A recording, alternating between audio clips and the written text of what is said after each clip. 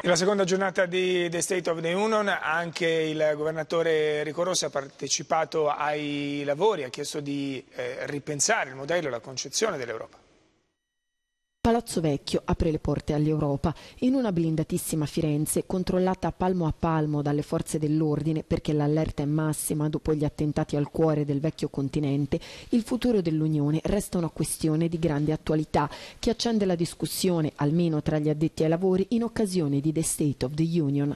Le sfide da affrontare, su tutte il fenomeno migratorio, cambieranno la fisionomia degli Stati nazionali e per il Presidente della Toscana, Enrico Rossi, oltre alle parole servono i fatti fatti per ripensare l'Europa del domani. Io sono convintamente europeista, eh, sono assolutamente convinto che il nostro futuro o passa dall'unità europea, da uno Stato europeo che si confronta con il mondo, che affronta problemi dell'immigrazione, dell'economia, della guerra come Stato europeo oppure come singoli paesi non andiamo da nessuna parte e anche chi alza i muri la dà a bere ai cittadini. All'Europa dico però anche che un'Europa così com'è non va bene, perché è un'Europa ingiusta, è un'Europa che non pensa ai disoccupati, che pensa poco alle donne, è un'Europa dei potenti, dei gruppi finanziari, è un'Europa che si dimostra alla fine poco solidale.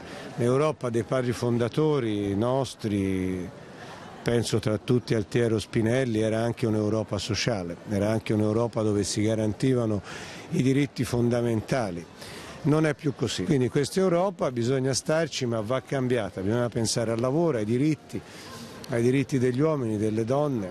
Se non avviene questo è un'Europa che rischia di essere percepita come lontana, distante.